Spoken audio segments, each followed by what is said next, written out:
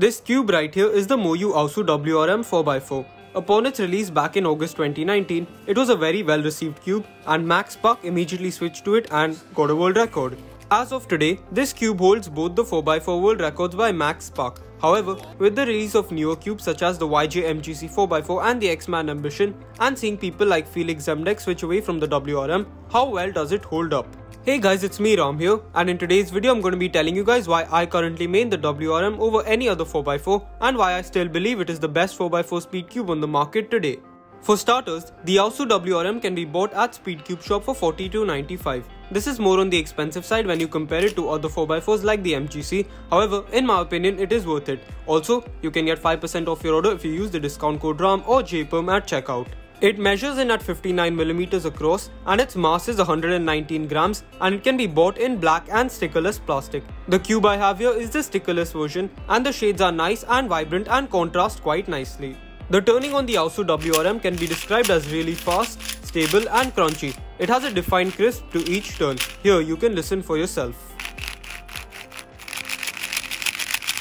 The speed of this cube is about the same as the YJ MGC 4x4 and definitely faster than its predecessor, the Aosu GTS 2M.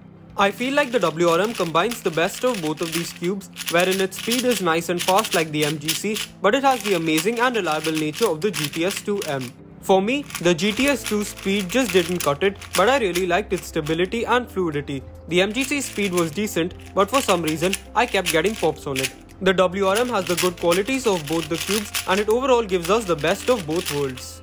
For setup, what I did was get a Unicube version of this puzzle setup with Vortex on the core and Lunar and Stardust on the pieces. This worked decently, but I added a few drops of Martian on top and loosened the tensions and that did the trick. The cube became a lot better.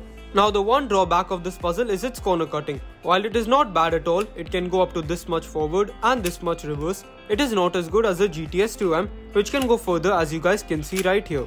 However, it is better than the MGC 4x4 and unlike on the MGC, my turning flows relatively well on it. I only get minor catches on the WRM. Despite my fairly loose tensions, I've only gotten a few pops on this cube when I have turned extremely roughly and I haven't gotten a single one during speed solving which is pretty great in my opinion. Now before I give you guys my final thoughts on this cube, I'm gonna pass it off to JPerm who currently mains the WRM. He really needs no introduction and is pretty good at 4x4, so let's hear what he has to say about this cube. Hey everyone, it's Dylan, or JPerm. The Aosu WRM, or Worm, is my main 4x4 mainly because of its size. I would actually give the title of best 4x4 to the Mini YJ 4x4 and the YJ MGC and the Worm. All of these cubes turn effortlessly fast and have great control. For me, the next best is the Magnetic Meilong and any other 4x4 like the Valk or the Ambition. Those are good, but I find that they don't control quite as well. I don't think the Worm is groundbreakingly good, I just think that everything about it, its speed, control, corner cutting, magnet strength, they all work really well together. And because of that, I don't make a lot of mistakes. You do not need to turn super fast to be good at 4x4, so I find that as long as everything works well together, then you have a great cube. I don't have super large hands, so I think 59 millimeters is in the perfect size range for me. It could go even smaller, which is why I'm fine with a mini 4x4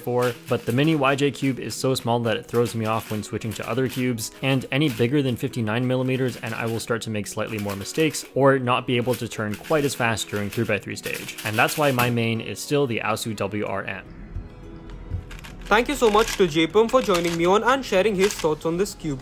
Now let me give you guys my final thoughts on this cube. Overall, I truly believe that it is the best 4x4 on the market and if you are looking for the absolute best speed cube, go for this one. According to me, this cube's reliability is truly unmatched. However, I know that people are not able to spend this much on a 4x4 and I totally respect that. So for the much better price of 1995 less if you use code or JPerm, there is the MGC 4x4. I think that value aside, this puzzle is only a little bit worse for me in terms of performance and ultimately hardware is so good nowadays that it does come down to personal preference. Therefore, if you are unable to spend a lot on a 4x4, the MGC is a great option.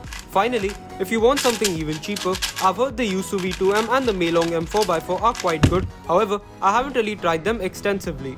So that's pretty much it for my thoughts on the Aosu WRM 4x4 and why I still think it is the best 4x4 out there. Thank you to Speedcube Shop as always for sending me this cube to test and thanks a lot for watching this video. I really hope you guys enjoyed and goodbye.